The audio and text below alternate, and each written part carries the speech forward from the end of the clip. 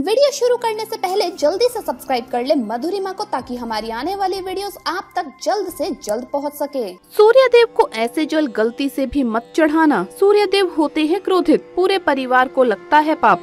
इसी के साथ हम जानेंगे कुछ ऐसे कार्यों के बारे में, जो अगर आपके घर में भी प्रतिदिन किए जाते हैं तो आप बनते हैं धनवान। माँ लक्ष्मी, ऐसे लोगों का साथ कभी भी नहीं छोड़ती तो पूरी जानकारी के लिए इस वीडियो को अंत तक ज़रूर देखिएगा। नमस्कार दोस्तों, स्वागत है आप सभी का एक बार फिर से। दोस्तों, सच्ची श्रद्धा से कमेंट्स में ज़रूर लिखे, हर हर महादेव, जय सूर्य देव दोस्तों, ऐसी तीन औरतों को सूर्य देव को जल कभी भी नहीं चढ़ाना चाहिए। पूरा परिवार बर्बाद हो जाता है, पति का जीवन नष्ट हो जाता है, घर में आती है गरीबी। साथ ही साथ जानिए सूर्य देव को जल चढ़ाते समय कौन कौन सी सावधानी बरतनी चाहिए? दोस्तों, जिस व्यक्ति पर सूर्य देव की कृपा पड़ जाए, उसे अमीर होते देर बिल्कुल भी नहीं लगती। व्यक्ति की कुंडली में राहु, केतु, शनि भी हो जाते हैं प्रसन्न। वो व्यक्ति हो जाता है मालामाल। लेकिन क्या आप जानते हैं कि तीन ऐसी औरतों को सूर्य देव को कभी भी जल नहीं चढ़ाना चाहिए? परिवार नष्ट हो जाता है। साथ ही साथ ये भी जानिए कि सूर्य देव को जल चढ़ाते समय कौन कौन सी सावधानियाँ बरतनी चाहिए तो चलिए जानते हैं। लेकिन आगे बढ़ने से पहले आपसे रिक्वेस्ट है कि वीडियो को लाइक करें, अपने दोस्तों के साथ शेयर करें। और अगर आपने अभी तक चैनल को सब्सक्राइब नहीं किया है तो सब्सक्राइब करके बेल आइकन ज़रूर प्रेस कर लें। दोस्तों नंबर एक सूर्य देव को जल चढ़ाते समय वो जल आपके पैरों में गिरता है तो ये बहुत ही अशुभ होता है। सूर्य देव को जल चढ़ाते समय हमेशा याद रहे कि वो जल आपके पैरों में कभी भी ना गिरे। साथ ही साथ सूर्य देव को जल चढ़ाते समय ओम सूर्याय नमः का जप अवश्य करें। सूर्य देव बहुत प्रसन्न होते हैं। नंबर दो, भूल से भी ये गलती कभी ना करें। बिना स्नान किए सूर्य देव को जल कभी भी ना चढ़ाएँ। सूर्य देव को स्वच्छता बेहद पसंद है। ऐसे में अगर आप बिना स्नान किए ही सूर्य देव को जल चढ़ाते हैं तो वो आपसे नाराज़ हो सकते हैं। और आप जिस कारण से उन्हें जल चढ़ा रहे हैं, वो कार्य भी आपका कभी सफल नहीं होगा। नंबर तीन, दोस्तों, आजकल फ़ैशन का जमाना है। कई लोग प्लास्टिक या स्टील या कांच के बने बर्तन में सूर्य देव को जल चढ़ाते हैं, जो की घोर अनर्थ माना जाता है। व्यक्ति को शास्त्रों के विरुद्ध कभी भी नहीं जाना चाहिए। इससे हिंदू धर्म का अपमान माना जाता है। वेद पुराणों में स्पष्ट बताया गया है कि सूर्य देव को हमेशा पीतल या तांबे के बने बर्तन में ही जल चढ़ाना चाहिए। किसी और धातु का ज़िक्र शास्त्रों में नहीं किया गया है। अगर आप सच्चे दिल से हमेशा इसी धातु का प्रयोग करते हैं तो सूर्य देव आपके सभी बिगड़े कार्य अवश्य पूरे करेंगे। आपकी कुंडली और आपके ऊपर लगे सभी दोष खत्म हो जाएँगे। सूर्य देव हमेशा आपकी रक्षा करेंगे।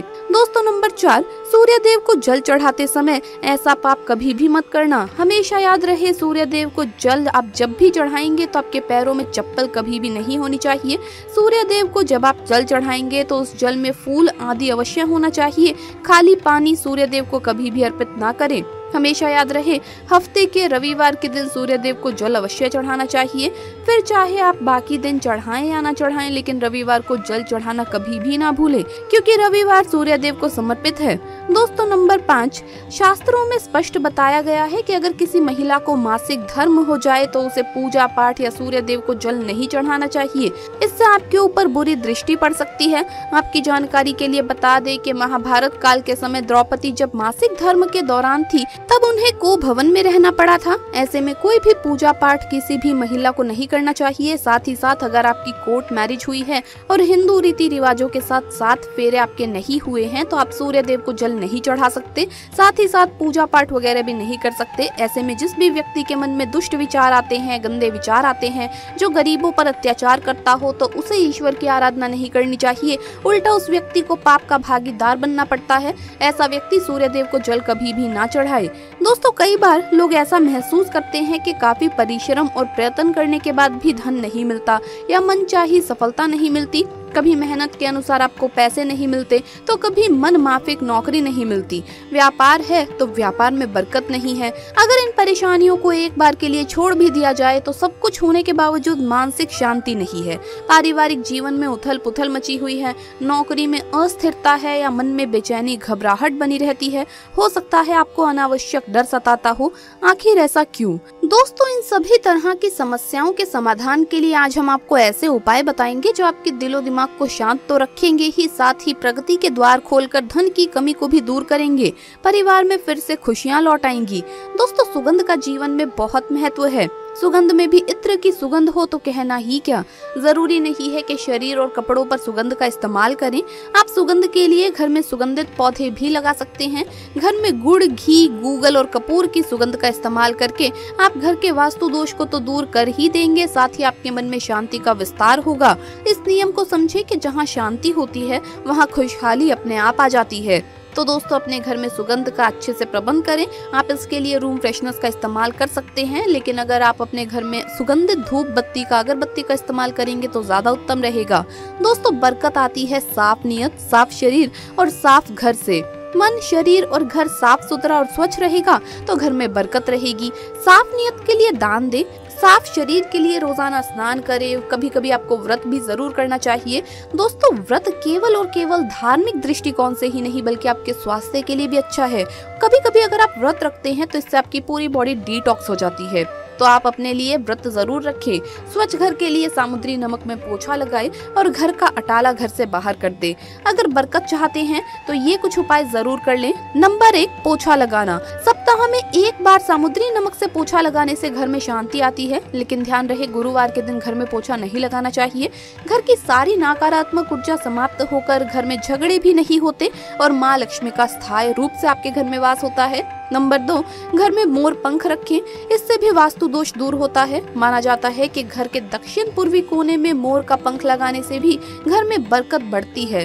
अगर मोर पंख को घर के उत्तरी पश्चिमी कोने में रखेंगे तो जहरीले जानवरों का भय नहीं रहता। अपनी जेब या डायरी में मोर पंख रखने से राहु दोष से आपको मुक्ति मिलेगी, इसीलिए आप हमेशा अपने पास मोर पंख ज़रूर रखें। नंबर तीन, पशु पक्षियों को प्रतिदिन भोजन खिलाइए। घर में तैयार भोजन की प्रथम रोटी गाय को और अंतिम रोटी कुत्ते को नियम से खिलानी चाहिए। इसके अलावा प्रतिदिन पक्षियों और चीटियों के लिए भोजन पानी की व्यवस्था करें। ये आपको रोज़ाना करना चाहिए। नंबर चार, पूजा घर में तो आमतौर पर सभी लोग देवी लक्ष्मी की तस्वीर या मूर्ति रखते हैं, लेकिन रसोई घर में माँ लक्ष्मी की तस्वीर कम ही लोग लगाते हैं, जबकि रसोई घर से ही आपके घर का बजट जुड़ा है। इसीलिए देवी लक्ष्मी की एक तस्वीर रसोई घर में भी ज़रूर लगा कर रखें। देवी अन्नपूर्णा को अन्न और भंडार की देवी कहा गया है। शास्त्रों के अनुसार जिस घर में माँ अन्नपूर्णा की कृपा रहती है, उस घर में कभी भी अन्न धन की कमी नहीं रहती। इसीलिए माँ लक्ष्मी के साथ साथ देवी अन्नपूर्णा को भी अपने रसोई घर में स्थान दीजिए। इन दोनों देवियों की नियमित सुबह और शाम रसोई घर में पूजा करें और धूप, दीप दिखाएँ। इससे आपका भंडार हमेशा भरा रहेगा और घर का बजट और बचत करने में आपको सफलता मिलेगी। नंबर पाँच, शास्त्रों में गाय को माँ लक्ष्मी का स्वरूप माना गया है, जिसके शरीर के हर अंग में किसी न किसी देवता का वास है। इसीलिए अपनी आदत में शामिल कर ले कि हर दिन एक रोटी गुड़ के साथ गाय को खिलाइए। अगर सुबह सुबह गाय द्वार पर आ जाए तो उसे रोटी या हरा चारा ज़रूर खिलाएँ। इससे आपकी आर्थिक स्थिति बेहतर होगी।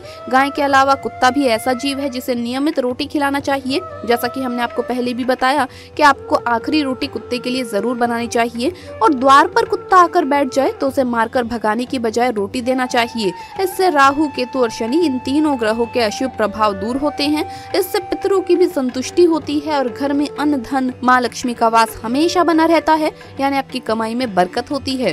नंबर छह बड़े बुज़ुर्गों का मानना है कि आप कितनी भी कमाई कर ले, अगर देवता प्रसन्न नहीं होंगे तो आपकी कमाई में बरकत नहीं होगी। इसीलिए कहा जाता है कि भोजन बनाने के बाद सबसे पहले कुछ अंश अग्नि में डाल दें।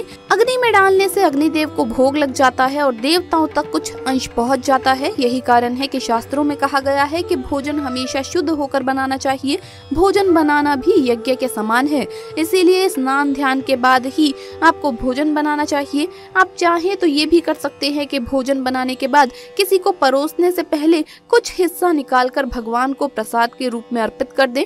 इसके बाद घर के सदस्यों को भोजन परोसे। तो दोस्तों, आपको ये वीडियो कैसा लगा हमें कमेंट्स में ज़रूर बताएँ। इस वीडियो को लाइक करें, अपने दोस्तों के साथ शेयर करें और अगर आपने अभी तक चैनल को सब्सक्राइब नहीं किया है तो सब्सक्राइब करके बेल आइकन ज़रूर प्रेस कर ले। जल्द मुलाकात होगी अगली वीडियो में। हर हर महादेव। जय महाकाल।